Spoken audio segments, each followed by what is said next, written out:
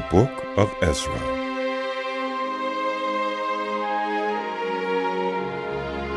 In the first year of Cyrus, king of Persia, in order to fulfill the word of the Lord spoken by Jeremiah, the Lord moved the heart of Cyrus, king of Persia, to make a proclamation throughout his realm, and also to put it in writing.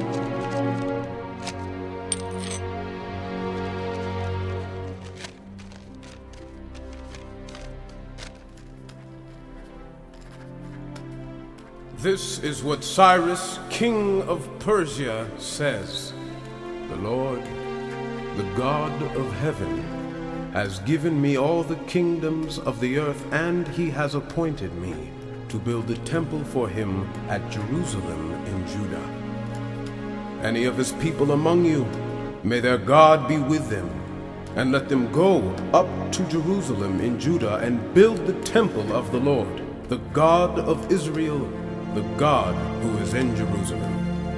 And in any locality where survivors may now be living, the people are to provide them with silver and gold, with goods and livestock, and with free will offerings for the temple of God in Jerusalem. Then the family heads of Judah and Benjamin, and the priests and Levites, every one whose heart God had moved, prepared to go up and build the house of the Lord in Jerusalem. All their neighbors assisted them with articles of silver and gold, with goods and livestock, and with valuable gifts, in addition to all the free will offerings. Moreover, King Cyrus brought out the articles belonging to the temple of the Lord, which Nebuchadnezzar had carried away from Jerusalem, and had placed in the temple of his God. Cyrus, king of Persia, had them brought by Mithredath, the treasurer, who counted them out to Sheshbazzar, the prince of Judah. This was the inventory. Gold dishes, 30. Silver dishes, 1,000. Silver pans, 29. Gold bowls, 30. Matching silver bowls, 410. Other articles, 1,000. In all, there were 5,400 articles of gold and of silver. Sheshbazzar brought all these along with the exiles when they came up from Babylon to Jerusalem. Now these are the people of the province who came up from the captivity of the exiles, whom Nebuchadnezzar, king of Babylon, had taken captive to Babylon. They returned to Jerusalem and Judah, all to their own towns, in company with Zerubbabel, Nehemiah, Seraiah, Reelaiah, Mordecai, Bilshan, Mispar, Bigvai, Rehum, and Baanah. The list of the men of the people of Israel, the descendants of Parosh, 2,172. Of Shephatiah, 372. Of Arah, 775 of Pahath Moab, through the line of Jeshua and Joab, 2,812. Of Elam, 1,254. Of Zattu, 945. Of Zaccai, 760. Of Bani, 642. Of Bebai, 623. Of Azgad, 1,222 of Adonikam, 666, of Bigvai, 2,056, of Adin, 454, of Ater, through Hezekiah, 98, of Bezai, 323, of Jorah, 112, of Hashum, 223, of Gibbar, 95, the men of Bethlehem, 123. Of Netophah, 56. Of Anathoth, 128. Of Azmaveth, 42. Of Kiriath Jearim, Kephirah, and Beerah, 743. Of Ramah and Geba, 621. Of Michmash, 122. Of Bethel and Ai, 223. Of Nebo, 52. Of Magbish, 156. Of the other Elam, 1,254. Of Harim, 320. Of Lod, Hadid, and Ono, 725. Of Jericho, 345. Of Senaah, 3,630. The priests, descendants of Jedaiah through the family of Jeshua, 973. Of Immer, 1,052. Of Pashur, 1,247. Of Harim, 1,017. The Levites, the descendants of Jeshua and Kadmiel of the line of Hodaviah, 74. The musicians, the descendants of Asaph, 128. The gatekeepers of the temple, the descendants of Shallum, Ater, Talmon, Akkub, Hatita, and Shobai, 139. The temple servants, the descendants of Ziha, Hasupha, Tebael, Keros, Siaha, Hayden, Lebanah, Hagabah, Akkub, Hagab, Shalmai, Giddel, Gahar, Reel, Rezin, Nekoda, Gazam, Uzzah, Asiah, Besai, Asna, Meunim, Nephusim, Bakbuk, Hakupha, Harhur, Basla, Mahida, Harsha, Barkos, Sisera, Teba, Neziah, and Hatipha, the descendants of the servants of Solomon, the descendants of Sotai, Hassophereth, Peruda, Jaala, Darkon, Giddel, Shephatiah, Hattil, Pokereth Hazzebaim, and Amai, the temple servants and the descendants of the servants of Solomon, 392. The following came up from the towns of Tel Melah, Tel Harsha, Kerub, Addon, and Immer, but they could not show that their families were descended from Israel. The descendants of Delaiah, Tobiah, and Nekoda, 652. And from among the priests, the descendants of Hobaiah, Hakkoz, and Barzillai, man who had married a daughter of Barzillai, the Gileadite, and was called by that name. These searched for their family records, but they could not find them, and so were excluded from the priesthood as unclean. The governor ordered them not to eat any of the most sacred food until there was a priest ministering with the Urim and Thummim. The whole company numbered 42,360, besides their 7,337 male and female slaves. And they also had 200 male and female singers. They had 736 horses, 245 mules, 435 camels, and 6,720 donkeys. When they arrived at the house of the Lord in Jerusalem, some of the heads of the families gave free will offerings toward the rebuilding of the house of God on its site. According to their ability, they gave to the treasury for this work 61,000 darics of gold, 5,000 minas of silver, and 100 priestly garments. The priests, the Levites, the musicians, the gatekeepers, and the temple servants settled in their own towns, along with some of the other people, and the rest of the Israelites settled in their towns.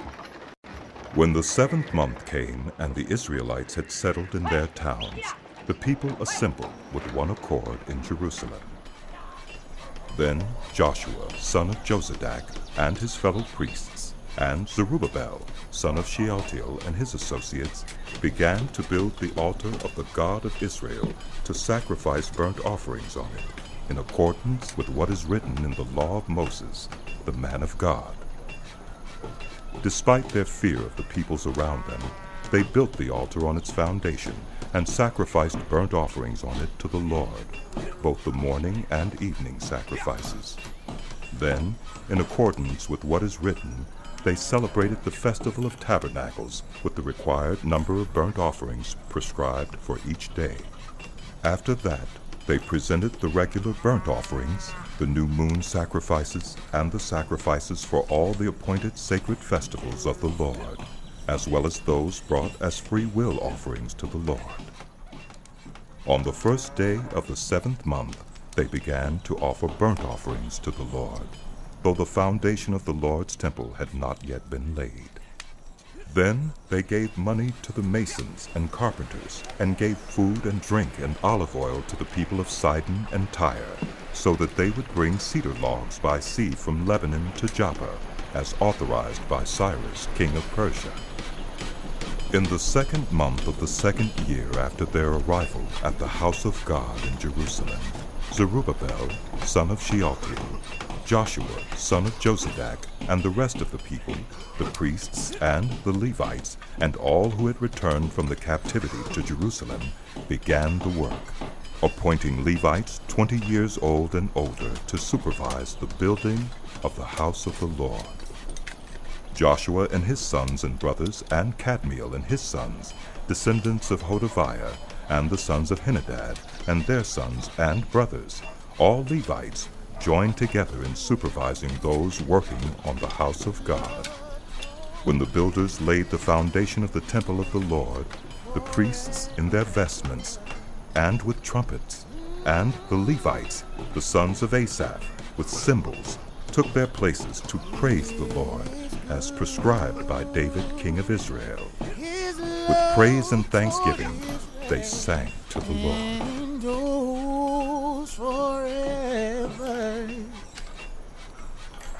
He is good. His love toward Israel endures forever.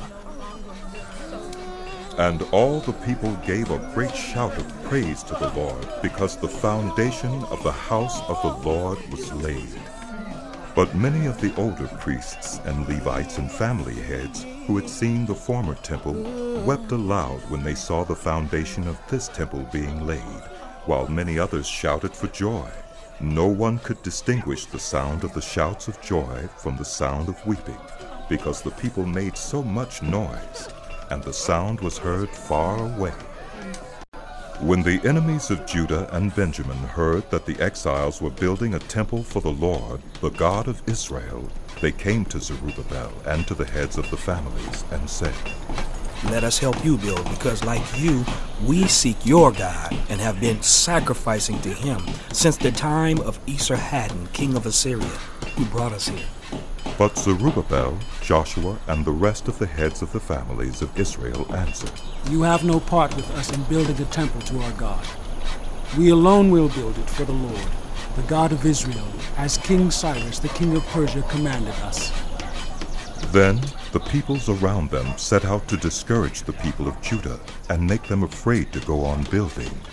They bribed officials to work against them and frustrate their plans during the entire reign of Cyrus, king of Persia, and down to the reign of Darius, king of Persia. At the beginning of the reign of Xerxes, they lodged an accusation against the people of Judah and Jerusalem. And in the days of Artaxerxes, king of Persia, Bishlam, Mithredath, Tabiel, and the rest of his associates wrote a letter to Artaxerxes. The letter was written in Aramaic script and in the Aramaic language. Rehum, the commanding officer, and Shimshai, the secretary, wrote a letter against Jerusalem to Artaxerxes the king, as follows Rehum, the commanding officer, and Shimshai, the secretary, together with the rest of their associates, the judges, officials, and administrators over the people from Persia, Uruk, and Babylon, the Elamites of Susa, and the other people whom the great and honorable Ashurbanipal deported and settled in the city of Samaria and elsewhere in Trans Euphrates. This is a copy of the letter they sent him. To King Artaxerxes from your servants in Trans Euphrates. The king should know that the people who came up to us from you have gone to Jerusalem and are rebuilding that rebellious and wicked city. They are restoring the walls and repairing the foundations. Furthermore, the king should know that if this city is built and its walls are restored, no more taxes, tribute, or duty will be paid, and eventually the royal revenues will suffer. Now, since we are under obligation to the palace, and it is not proper for us to see the king dishonored, we are sending this message to inform the king, so that a search may be made in the archives of your predecessors. In these records, you will find that this city is a rebellious city, troublesome to kings and provinces a place with a long history of sedition. That is why this city was destroyed. We inform the king that if the city is built and its walls are restored, you will be left with nothing in Trans Euphrates. The king sent this reply To Rehum, the commanding officer, Shimshai, the secretary, and the rest of their associates living in Samaria and elsewhere in Trans Euphrates Greetings. The letter you sent us has been read and translated in my presence. I issued an order, and a search was made, and it was found that this city has a long history of revolt against kings and has been a place of rebellion and sedition. Jerusalem has had powerful kings ruling over the whole of Trans Euphrates, and taxes, tribute, and duty were paid to them. Now issue an order to these people to stop work, so that this city will not be rebuilt until I so order. Be careful not to neglect this matter. Why let this threat grow to the detriment of the royal interest?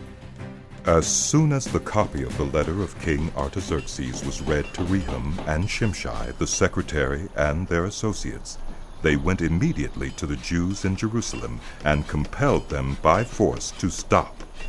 Thus the work on the house of God in Jerusalem came to a standstill until the second year of the reign of Darius, king of Persia. Now Haggai the prophet and Zechariah the prophet, a descendant of Iddo, prophesied to the Jews in Judah and Jerusalem in the name of the God of Israel, who was over them. Then Zerubbabel, son of Shealtiel, and Joshua, son of Jozadak, set to work to rebuild the house of God in Jerusalem. And the prophets of God were with them, supporting them. At that time, Tattenai, governor of Trans Euphrates, and Shethar-bozenai, and their associates went to them and asked, Who authorized you to rebuild this temple and to finish it? They also asked, What are the names of those who are constructing this building? But the eye of their God was watching over the elders of the Jews, and they would not stop until a report could go to Darius and his written reply be received. This is a copy of the letter that Tattenai, governor of Trans-Euphrates, and Shethar-bozenai and their associates, the officials of Trans-Euphrates, sent to King Darius. The report they sent him read as follows. To King Darius, cordial greetings. The king should know that we went to the district of Judah, to the temple of the great God. The people are building it with large stones and placing the timbers in the walls. The work is being carried on with diligence and is making rapid progress under their direction. We questioned the elders and asked them, Who authorized you to rebuild this temple and to finish it? We also asked them their names, so that we could write down the names of their leaders for your information. This is the answer they gave us. We are the servants of the God of heaven and earth, and we are rebuilding the temple that was built many years ago, one that a great king of Israel built and finished. But because our ancestors angered the God of heaven, he gave them into the hands of Nebuchadnezzar, the Chaldean king of Babylon, who destroyed this temple and deported the people to Babylon. However, in the first year of Cyrus, king of Babylon, King Cyrus issued a decree to rebuild this house of God. He even removed from the temple of Babylon the gold and silver articles of the house of God, which Nebuchadnezzar had taken from the temple in Jerusalem and brought to the temple in Babylon. Then King Cyrus gave them to a man named Sheshbazzar, whom he had appointed governor, and he told him, Take these articles and go and deposit them in the temple in Jerusalem, and rebuild the house of God on its site. So this Sheshbazzar came and laid the foundations of the house of God in Jerusalem. From that day to the present, it has been under construction, but is not yet finished. Now, if it pleases the king, let a search be made in the royal archives of Babylon to see if King Cyrus did in fact issue a decree to rebuild this house of God in Jerusalem. Then let the king send us his decision in this matter. King Darius then issued an order, and they searched in the archives stored in the treasury at Babylon. A scroll was found in the citadel of Ecbatana in the province of Media, and this was written on it.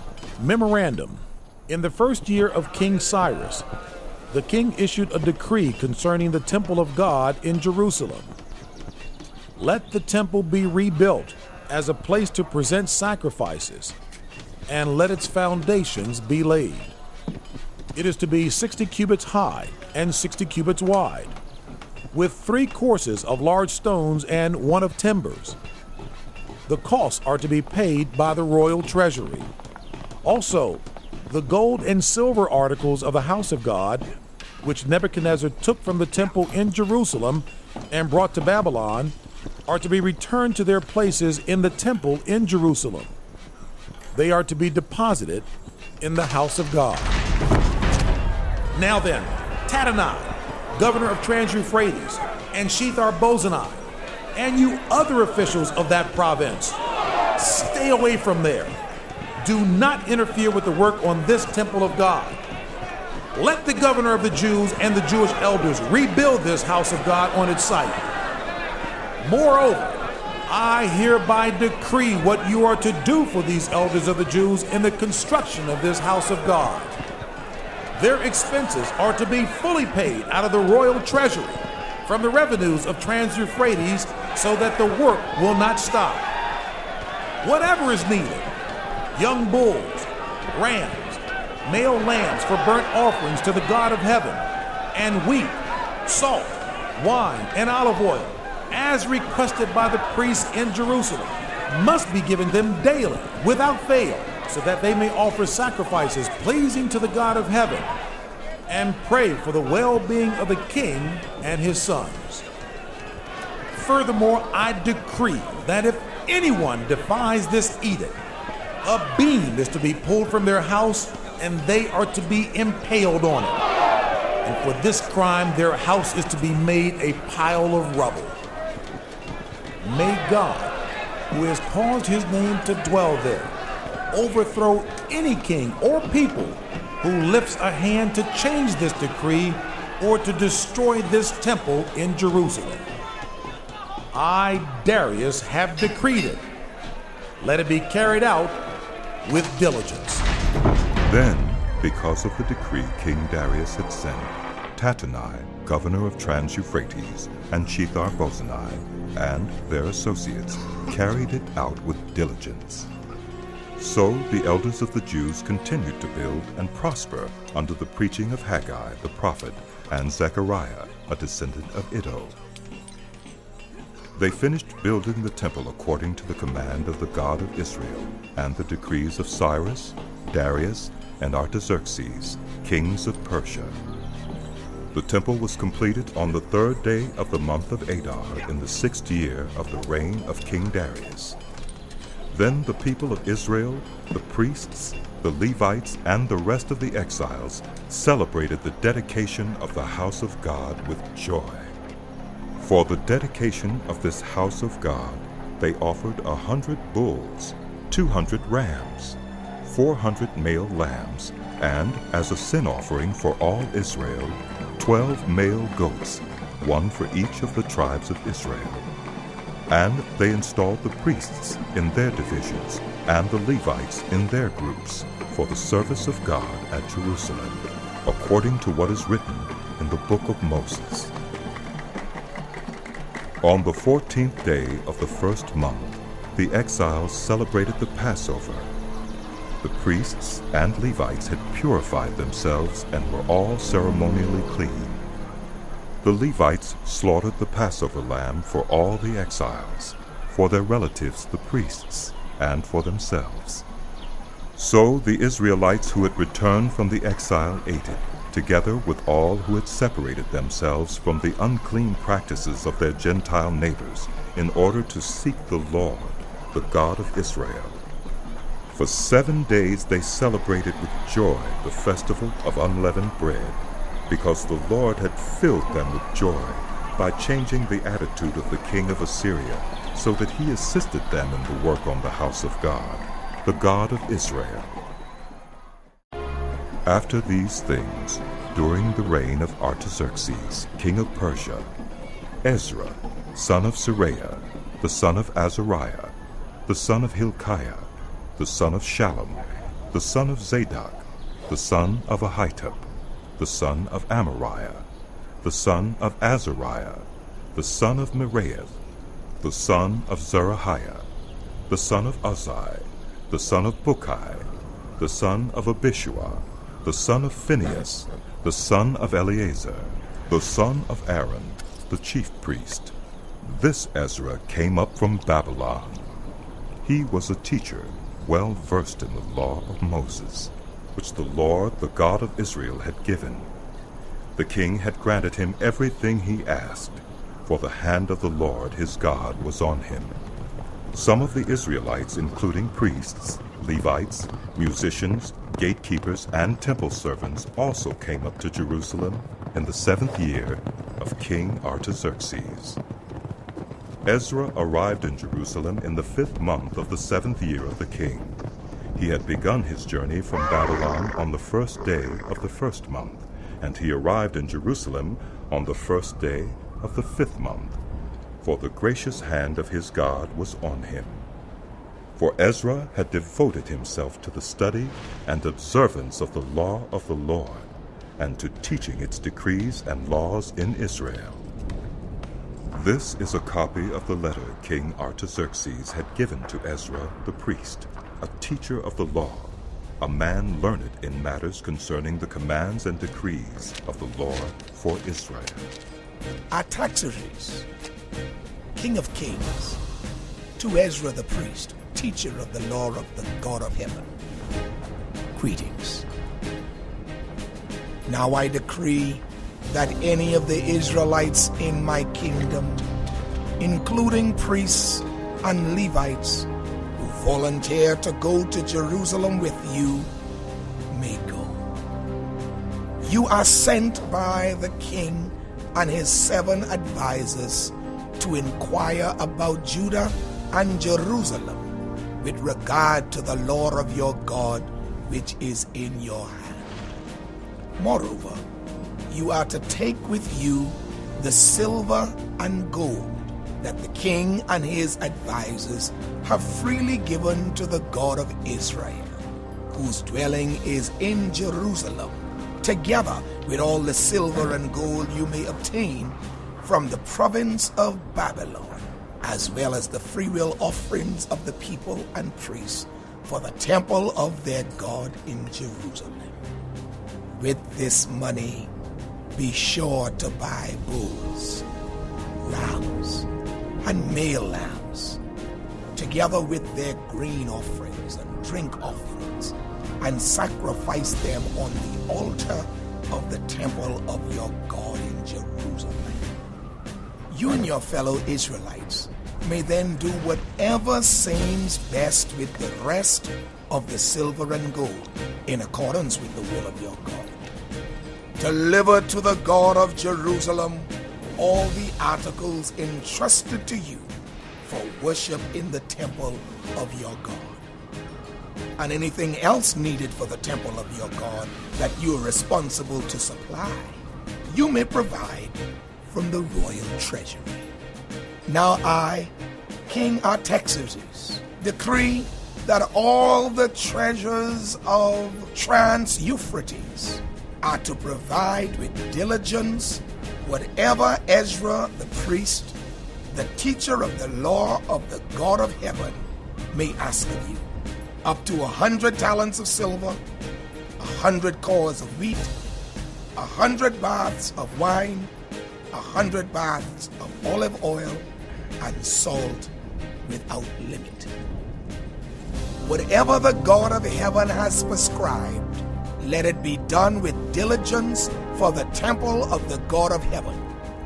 Why should his wrath fall on the realm of the king and of his sons? You are also to know that you have no authority to impose taxes, tribute, or duty on any of the priests, Levites, musicians, gatekeepers, temple servants, or other workers at this house of God. And you, Ezra, in accordance with the wisdom of your God which you possess, appoint magistrates and judges to administer justice to all the people of Trans Euphrates, all who know the laws of your God. And you are to teach any who do not know them. Whoever does not obey the law of your God and the law of the king must surely be punished by death, banishment, confiscation of property, or imprisonment. Praise be to the Lord, the God of our ancestors, who has put it into the king's heart to bring honor to the house of the Lord in Jerusalem in this way, and who has extended his good favor to me before the king and his advisers and all the king's powerful officials. Because the hand of the Lord my God was on me, I took courage and gathered leaders from Israel to go up with me. To go up. These are the family heads and those registered with them who came up with me from Babylon during the reign of King Artaxerxes. Of the descendants of Phinehas, Gershom. Of the descendants of Ithamar, Daniel. Of the descendants of David, Hattush. Of the descendants of Shechaniah. Of the descendants of Parosh, Zechariah. And with him were registered 150 men.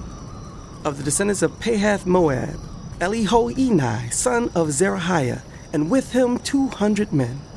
Of the descendants of Zattu, Shechaniah, son of Jehaziel, and with him 300 men. Of the descendants of Adin, Ebed, son of Jonathan, and with him 50 men. Of the descendants of Elam, Jeshaiah, son of Athaliah, and with him 70 men.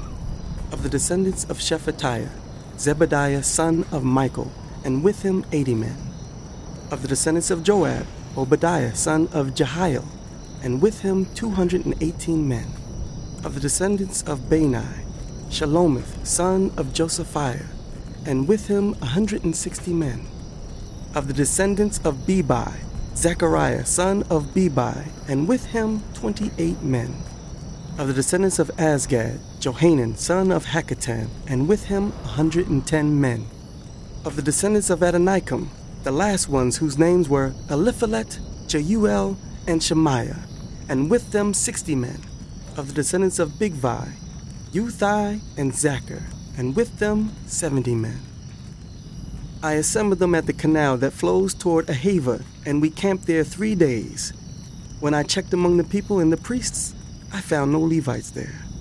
So I summoned Eleazar, Ariel, Shemaiah, Elnathan, Jarib, Elnathan, Nathan, Nathan, Zechariah, and Meshullam, who were leaders, and Joiarib, and Elnathan, who were men of learning.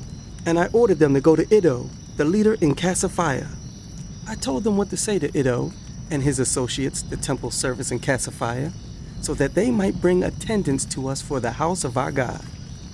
Because the gracious hand of our God was on us, they brought us Sherebiah, a capable man, from the descendants of Mahli, son of Levi, the son of Israel, and Sherebiah's sons and brothers, eighteen in all, and Hashabiah, together with Jeshaiah from the descendants of Merari, and his brothers and nephews, twenty in all.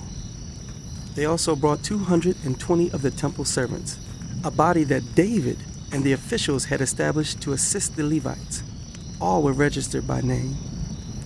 There, by the Ahava Canal, I proclaimed a fast, so that we might humble ourselves before our God and ask Him for a safe journey for us and our children with all our possessions. I was ashamed to ask the king for soldiers and horsemen to protect us from enemies on the road, because we had told the king, The gracious hand of our God is on everyone who looks to him, but his great anger is against all who forsake him. So we fasted and petitioned our God about this, and he answered our prayer. Then I set apart twelve of the leading priests, namely Sherebiah, Hashabiah, and ten of their brothers. And I weighed out to them the offering of silver and gold, and the articles that the king, his advisers, his officials, and all Israel present there had donated for the house of our God. I weighed out to them 650 talents of silver, silver articles weighing 100 talents, 100 talents of gold, 20 bowls of gold valued at 1,000 darics, and two fine articles of polished bronze as precious as gold. I said to them, You as well as these articles are consecrated to the Lord.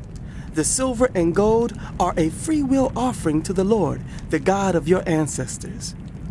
Guard them carefully until you weigh them out in the chambers of the house of the Lord in Jerusalem before the leading priests and the Levites and the family heads of Israel. Then the priests and Levites received the silver and gold and sacred articles that had been weighed out to be taken to the house of our God in Jerusalem. On the twelfth day of the first month, we set out from the Ahava Canal to go to Jerusalem. The hand of our God was on us, and He protected us from enemies and bandits along the way.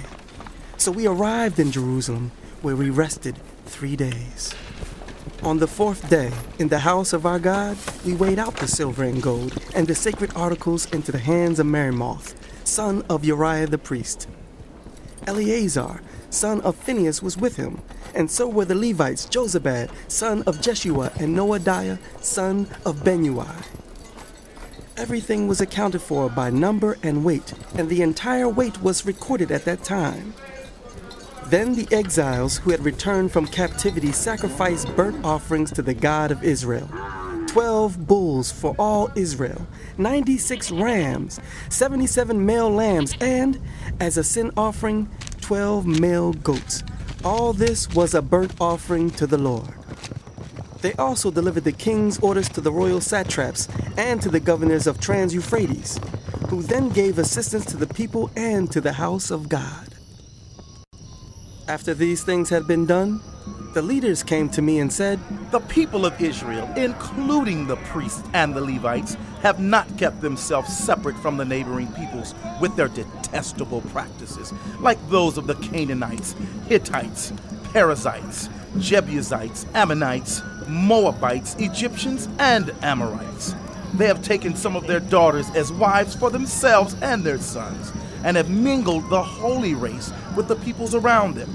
And the leaders and officials have led the way in this unfaithfulness. When I heard this, I tore my tunic and cloak, pulled hair from my head and beard, and sat down appalled. Then everyone who trembled at the words of the God of Israel gathered around me because of this unfaithfulness of the exiles. And I sat there, appalled until the evening sacrifice. Then, at the evening sacrifice, I rose from my self abasement with my tunic and cloak torn and fell on my knees with my hands spread out to the Lord my God and prayed. My God, my, my God, I am too ashamed and disgraced, my God, to lift up my face to you because our sins are higher than our heads and our guilt has reached to the heavens. From the days of our ancestors until now, our guilt has been great.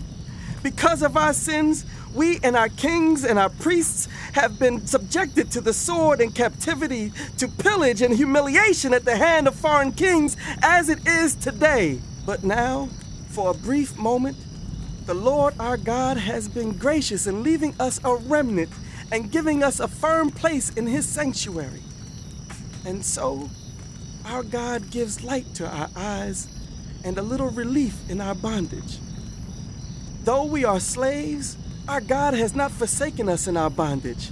He has shown us kindness in the sight of the kings of Persia. He has granted us new life to rebuild the house of our God and repair its ruins, and He has given us a wall of protection in Judah and Jerusalem. But now, our God, what can we say after this? For we have forsaken the commands you gave through your servants the prophets when you said, The land you are entering to possess is a land polluted by the corruption of its peoples. By their detestable practices, they have filled it with their impurity from one end to the other. Therefore, do not give your daughters in marriage to their sons, or take their daughters for your sons. Do not seek a treaty of friendship with them at any time, that you may be strong and eat the good things of the land and leave it to your children as an everlasting inheritance. What has happened to us is a result of our evil deeds and our great guilt. And yet, our God, you have punished us less than our sins deserved and have given us a remnant like this. Shall we then break your commands again and intermarry with the peoples who commit such detestable practices? Would you not be angry enough with us to destroy us, leaving us no remnant or survivor? Lord, the God of Israel, you are righteous. We are left this day as a remnant. Here we are before you in our guilt. Though because of it, not one of us can stand in your presence. While Ezra was praying and confessing, weeping and throwing himself down before the house of God, a large crowd of Israelites, men, women, and children, gathered around him. They too wept bitterly. Then Shechaniah, son of Jehiel, one of the descendants of Elam, said to Ezra, We have been unfaithful to our God by, by marrying foreign women from the peoples around us. But in spite of this, there is still hope for Israel. Now, now let us make a covenant before our God to send away all these women and their children in accordance with the counsel of my Lord and of those who fear the commands of our God. Let it be done according to the law. Rise up. This matter is in your hands. We will support you, so take courage and do it. So Ezra rose up and put the leading priests and Levites and all Israel under oath to do what had been suggested. And they took the oath. Then Ezra withdrew from before the house of God and went to the room of Jehohanan, son of Eliashib. While he was there, he ate no food and drank no water, because he continued to mourn over the unfaithfulness of the exiles. A proclamation was then issued throughout Judah and Jerusalem for all the exiles to assemble in Jerusalem. Anyone who failed to appear within three days would forfeit all his property in accordance with the decision of the officials and elders, and would himself be expelled from the assembly of the exiles. Within the three days, all the men of Judah and Benjamin had gathered in Jerusalem. And on the twentieth day of the ninth month, all the people were sitting in the square before the house of God, greatly distressed by the occasion and because of the rain. Then Ezra the priest stood up and said to them, You have been unfaithful. You have married foreign women, adding to Israel's guilt. Now honor the Lord, the God of your ancestors, and do his will. Separate yourselves from the peoples around you and from your foreign wives. The whole assembly responded with a loud voice. You are right. We must do as you say. But there are many people here, and it is the rainy season, so we cannot stand outside. Besides, this matter cannot be taken care of in a day or two because we have sinned greatly in this thing. Let our officials act for the whole assembly. Then let everyone in our towns who has married a foreign woman come at a set time, along with the elders and judges of each town, until the fierce anger of our God in this matter is turned away from us. Only Jonathan, son of Asahel, and Josiah, son of Tikvah, supported by Meshullam and Shabbathai the Levite, opposed this. So the exiles did as was proposed.